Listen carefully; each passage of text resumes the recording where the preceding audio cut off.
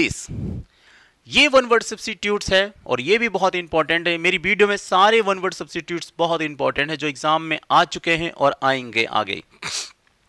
ये वर्ड है एपिथी that is एपिथी एपिथी का मतलब होता है उदासीनता। आपको उदासीनता समझ में नहीं आ रही होगी क्योंकि ये वर्ड काफ़ी ही औपचारिक यानी बहुत ही औपचारिक और ऊँचे लेवल का स्तर का शब्द है।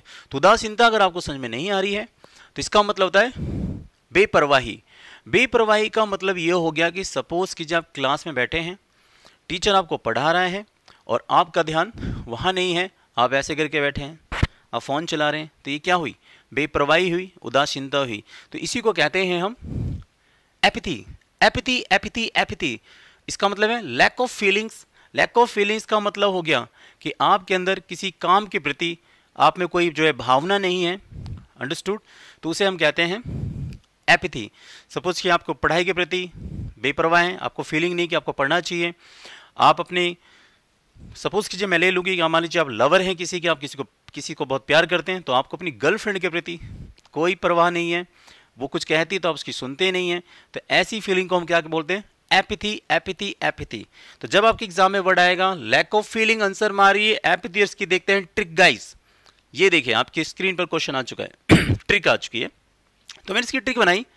आपके पति में, आपके पति में थी एपिथी ये देखिए यहाँ पे पति, इसको मैंने यहाँ से देखिए। P A T H Y को मैंने बना दिया जैसे पति। क्या बना दिया मैंने इसको?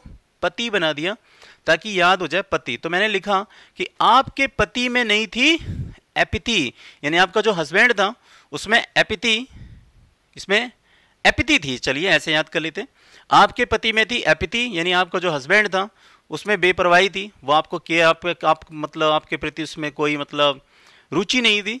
बिल्कुल बेपरवाह था। आप उसे कुछ कहते थे तो वो सुनता नहीं था। तो इसकी ट्रिक हो गई। आपके पति में थी एपिथी आपके पति में थी एपिथी आपके पति में थी एपिथी एपिथी एपिथी यानी उदासीनता थी उसमें। यानी उसमें जो है बेप्रवाही थी। ऐसे इसको याद कीजिएगा। तो जब आपके एग्ज़ाम में वर्ड आएगा लैक ऑफ़ फीलिंग आंसर मारे लेपथी देखते हैं। इसकी इमेज देख लीजिए आप। फ़िलहाल तो तो इसकी इमेज है, जैसे आप देख रहे हैं, क्लास के अंदर ये बच्चा बैठा है, देखिए ये कैसे बैठे हुए हैं, ये कैसे सो रहे हैं।